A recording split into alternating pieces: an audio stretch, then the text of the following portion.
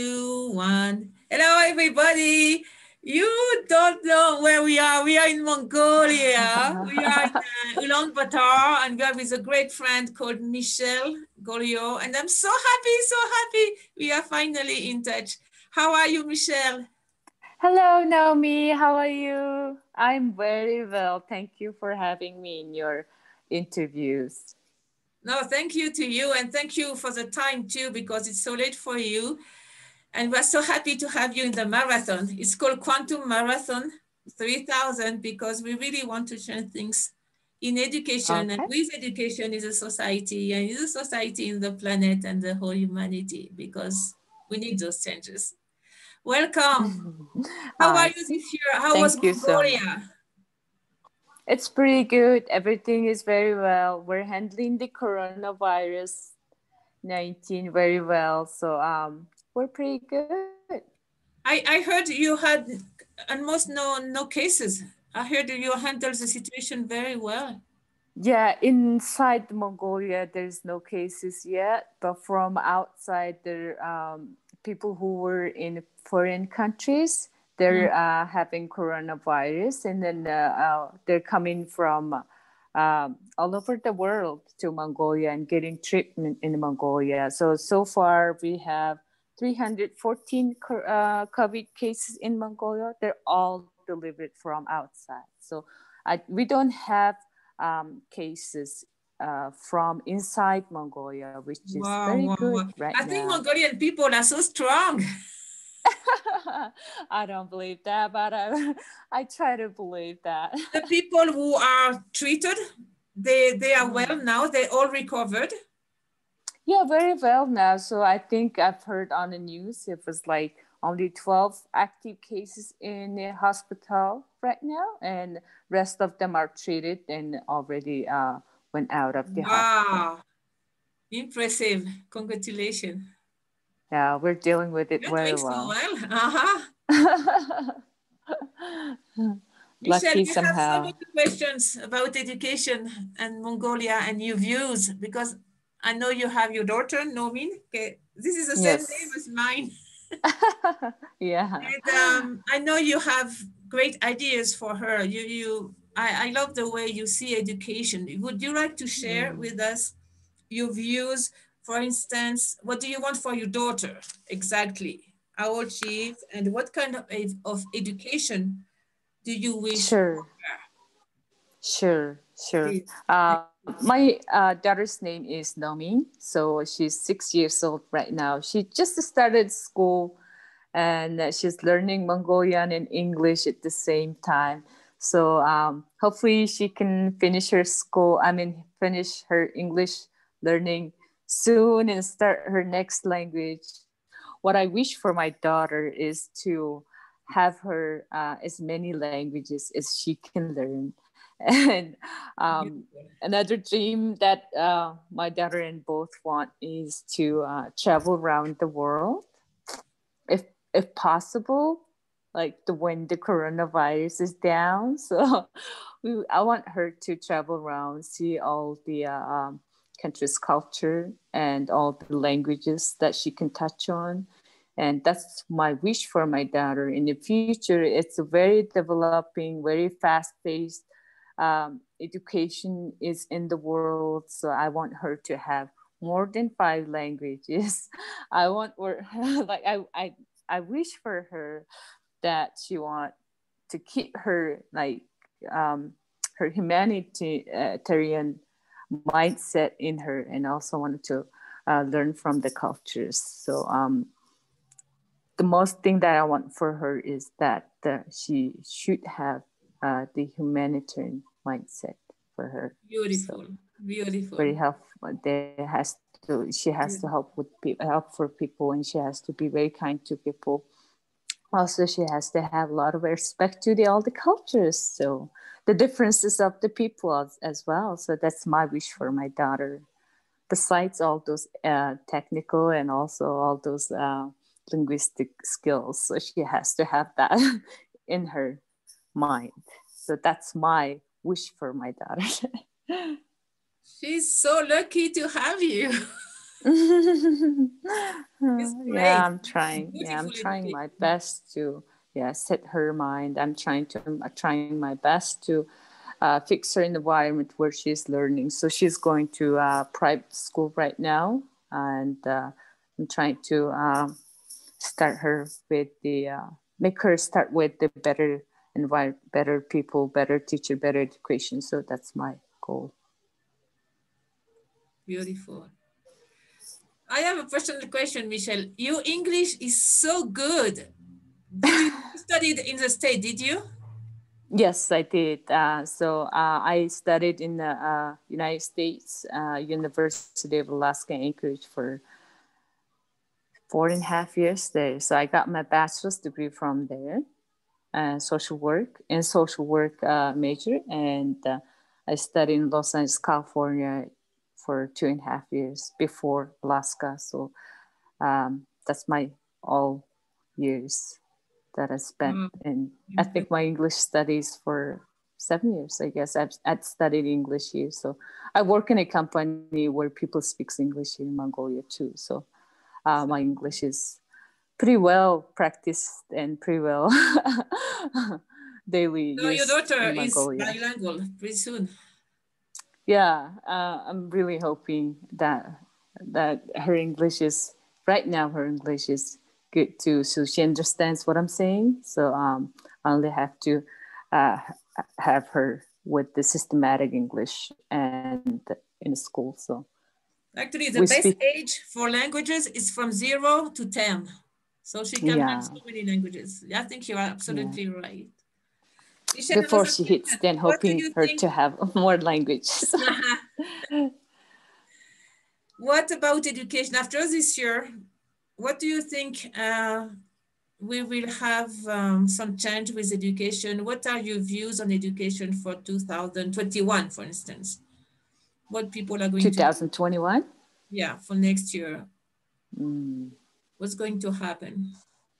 I don't know. It seems like world is based on more on online based trainings, online based things, and people are just uh, being like reliable on the technology.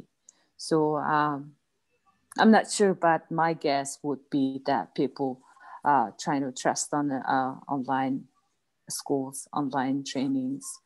There's no, I don't see any like official homeschooling in Mongolia, but this might start because of the uh, the coronavirus. People will think about uh, letting their kids study at home study online, and um, which is I think it's good for Mongolia to connect with the other world. So uh, tech-based study is always better for us to learn from uh, global education. So uh, that's my thought.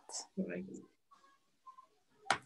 What about the parents? What would you recommend to the parents for the their own development and for the, the, the education of the kids, what would you recommend to them?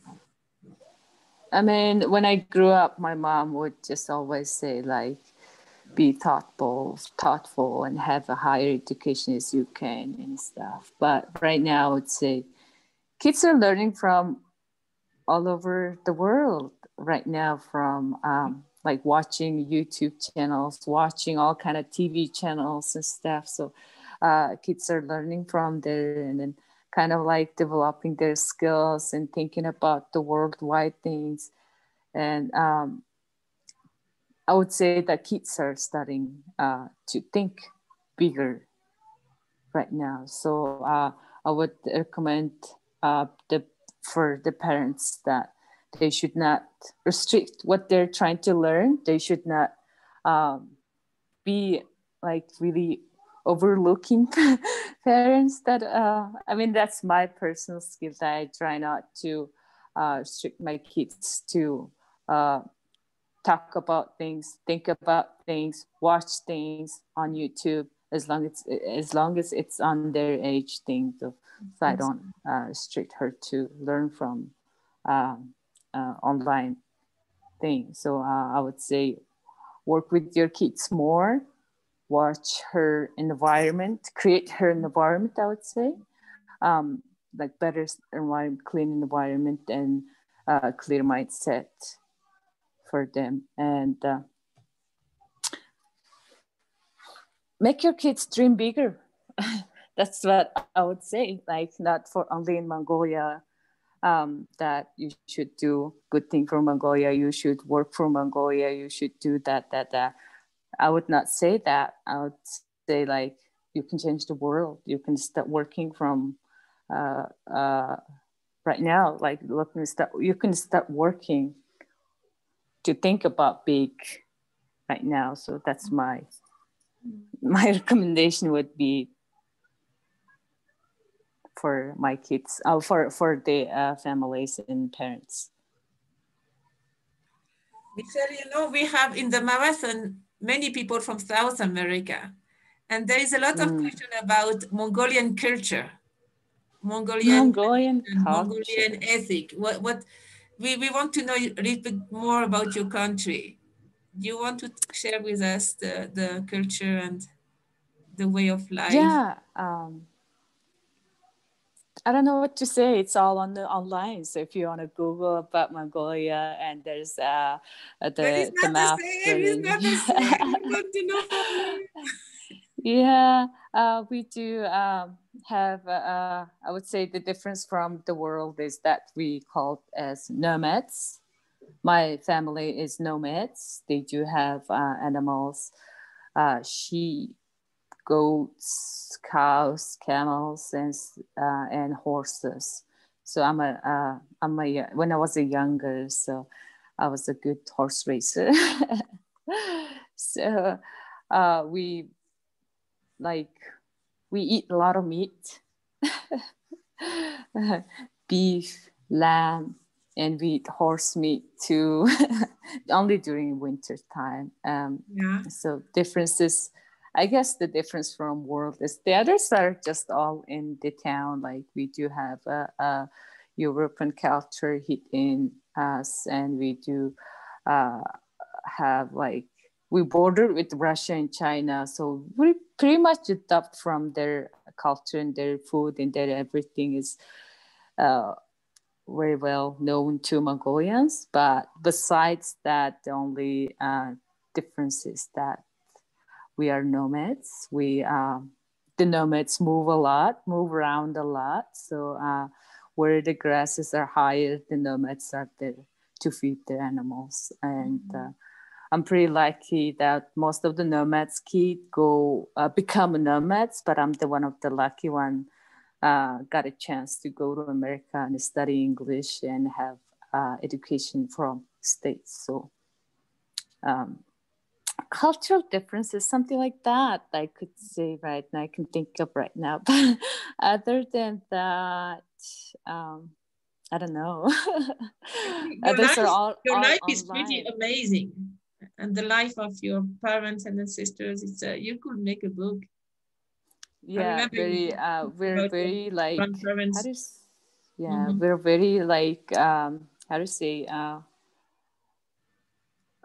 we respect each other each other a lot so even it's uh, like one year old we call them like sisters and we respect them and we are uh, very uh, close to our parents even though we are just uh, individuals and we're uh, uh, we got married and then become like individual parents we still go back to our parents mm couple of times a year to meet them, to greet them, to ask their how they're doing and stuff. And uh, when they're uh, sick or not feeling well, we always have to go back to our parents and mm-hmm. things like that.